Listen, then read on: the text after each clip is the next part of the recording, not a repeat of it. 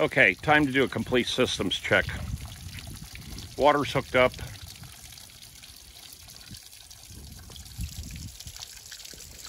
Okay, let's go aboard.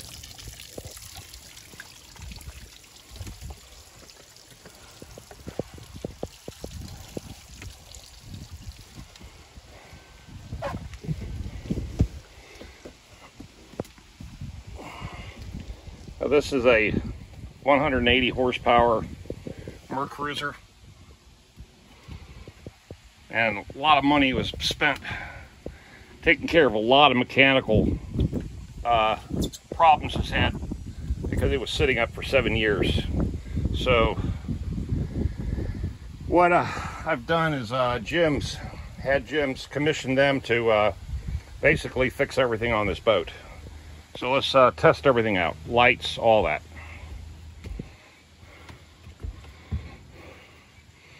Okay.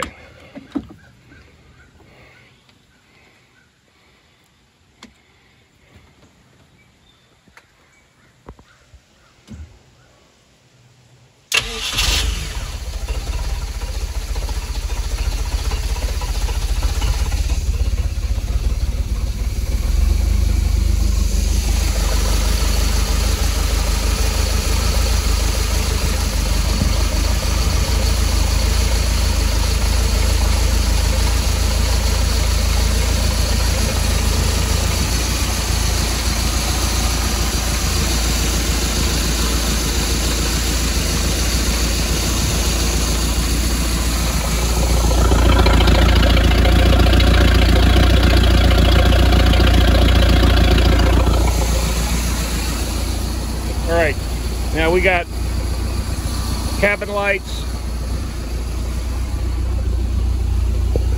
We got this light up here, and we got the Ford, the Ford light up there. Okay, let's put our turn everything on.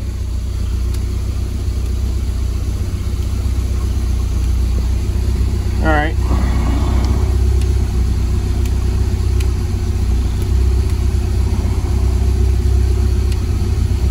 Well, let's test everything.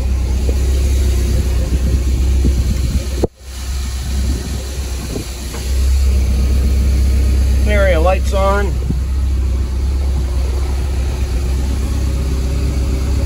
Lights on.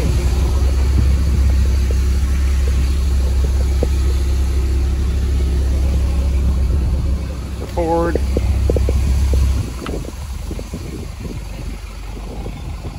Lights on.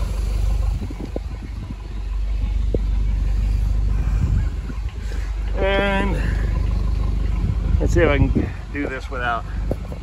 There we go. Lights on.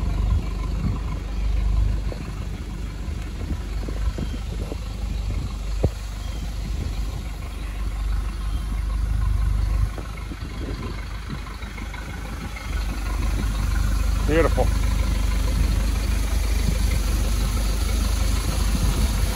And also what I did,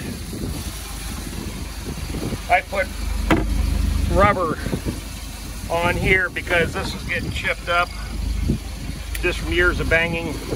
So now that closes quietly instead of slamming down. Okay. Now, okay, we know that's working. Then we know the depth finder works too. We've already tested that before.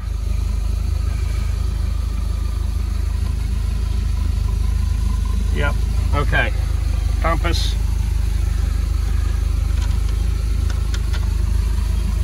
Auxiliary little port mount stuff.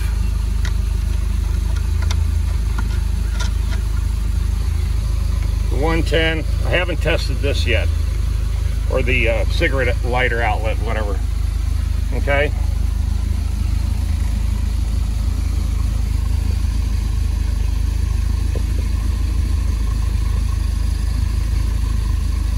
Good.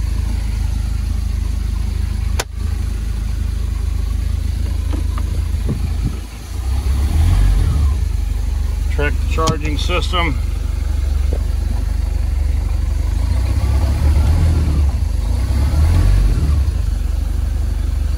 15 perfect.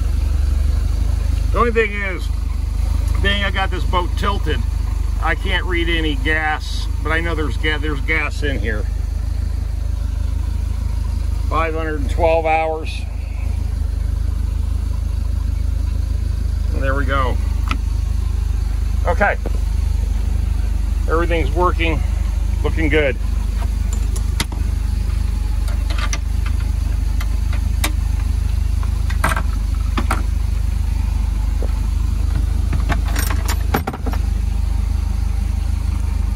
This light in here.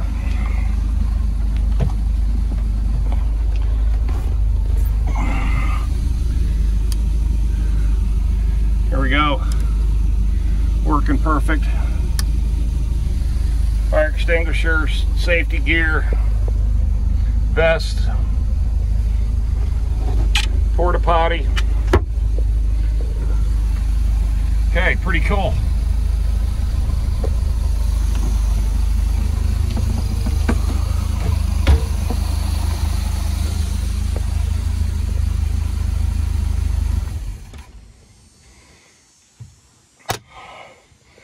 All right, everything's functional, man. Everything's working. Everything's operating as it should. Let's get down, cut off the water.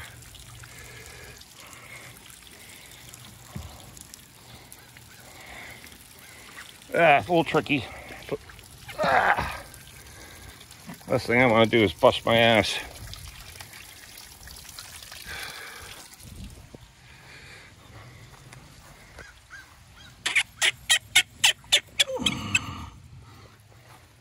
Okay, also too, what I wanted to address is this bottom paint.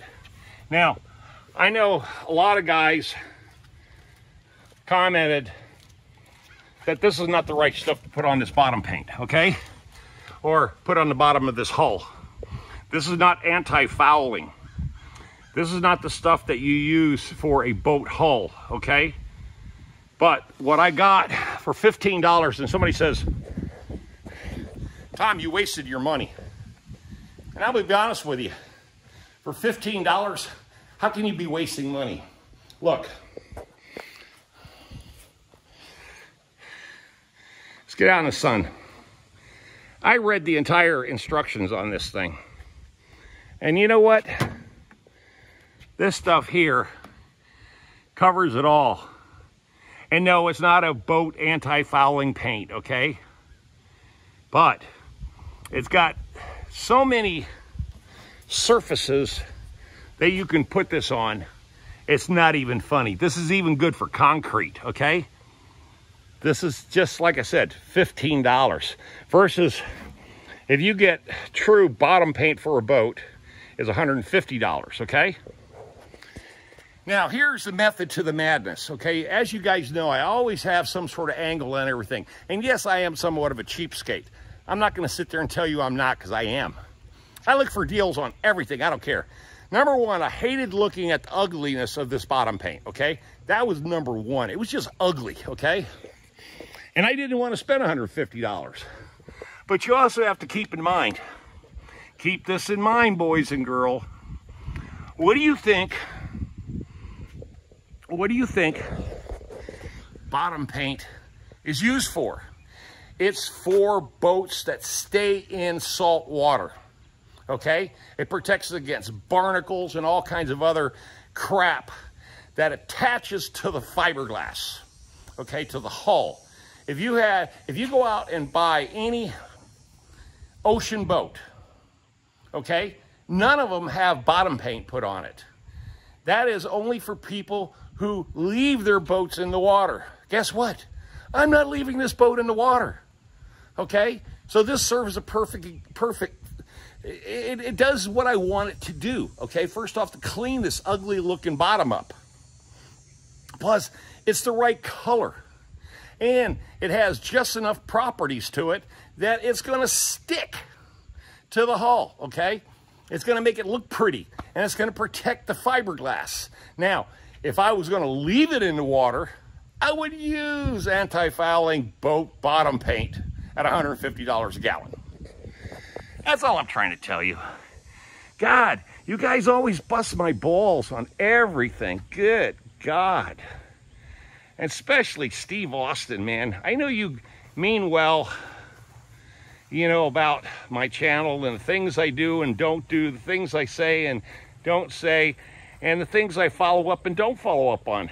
You know, it's my life. I'm trying to live the, the way I see fit, you know?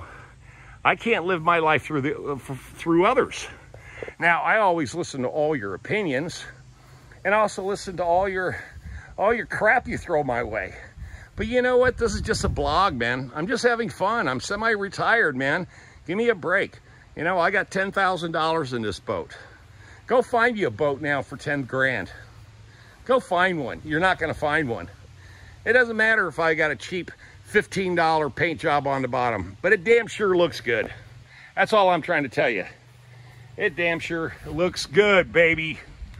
That's all I'm talking about. Because now when people roll up and look at it, they'll say, damn, we'd never guess this 37 years old. That's what it's all about.